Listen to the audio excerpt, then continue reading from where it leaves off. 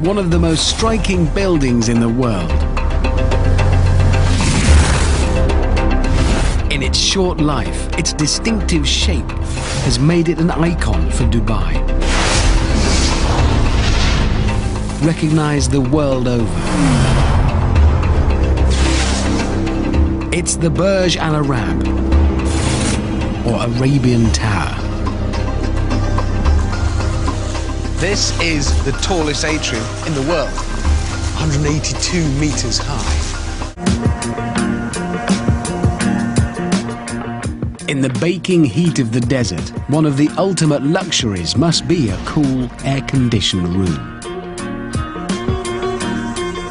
Even when temperatures approach 50 Celsius outside, the interior of the Burj Al Arab maintains a balmy 23 degrees. But keeping it this way isn't as simple as you might think. Creating and maintaining an oasis in the desert presented the engineers with a series of challenges right from the very beginning. The real problem is managing the big difference between temperatures inside and outside the hotel. On a hot day, the difference between the two can be 20 degrees Celsius. Temperature differences create pressure differences.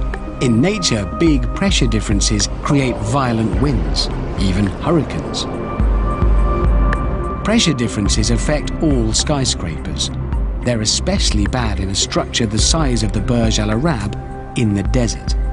It could literally stop people getting in and out of the building.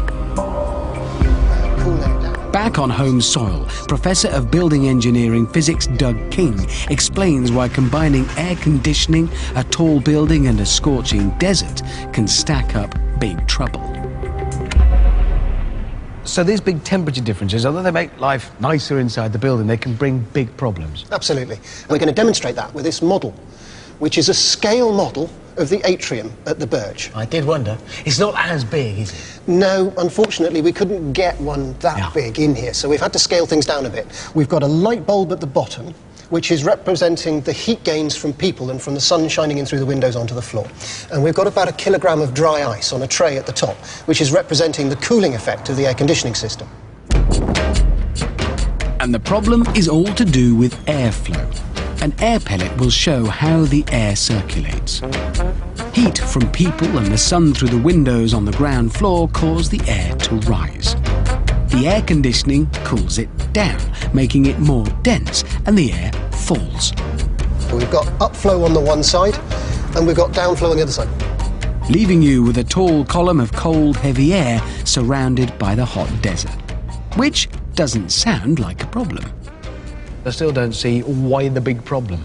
If the building stays closed, it's not a problem. The problem happens when we've got this big stack of cold air inside, we've got warm air outside, and it's all being held back by the front door. So why don't you open the door and see what happens? Right, there's a door down here. Open the door and That's see. the one. Okay, so I'll open the door. Ooh, Ooh, yes. What's happening now? See how quickly it's clearing down? You've got this big column of cold air inside, which is much heavier than the air outside, and it's all being forced out through that little opening. So that's on this scale, you can see it's rushing out. That's not just tumbling out because I've opened the door. That's being pushed out. That's right. By this pressure And difference. see how quickly all of that air inside the model has fallen down and pushed the air out through the door. So if that's how it works on this scale, how big a problem does it represent for something the size of Burj Al Arab? Well, for something as big as that atrium, it's 180 metres high, that's an enormous stack of cold air. Very, very dense at the bottom. Opening that door against that pressure is going to be try- like trying to lift a sack of potatoes. To be more precise, the vast atrium at the Burj Al Arab, combined with the heat of the desert outside, could create the equivalent of 21 bags of sugar pressing against the door. So 21 kilo weight suspended from a pulley. This then is about as tough as it would be to open the door at the Burj Al Arab. I mean, it's not impossible, but it is a bit of a workout. I don't think you want to work out every time you open the door, especially if you've saved up to book a suite. With the largest atrium in the world, this problem is especially acute for the Burj Al Arab. The unwanted stack effect was first noticed with the rise of the skyscraper. Workers in New York and Chicago complained not only of drafts, but that they couldn't even open the doors of their buildings because of pressure differences inside and outside. One solution to the problem is to equalize the pressure inside the building with the pressure outside the building. But that would mean you'd need to equalize the temperature in here with the temperature out there in the desert. You wouldn't be able to heat or cool the building. And I think having the temperature in here hover around the 40 degree mark does rather spoil the whole idea of an oasis in the desert. The hotel might lose a star or two for that. What you need is a means of getting between two areas of different pressure, outside on the street and inside the hotel, without allowing the pressures to equalise. There was a different solution, and it came from something inspired by a 19th century French coal mine. In 1839, French mining engineer Jacques Triger overcame the problem of moving between two areas of different pressure in waterlogged coal mines. He created the world's first airlock. This is how Triger's system worked.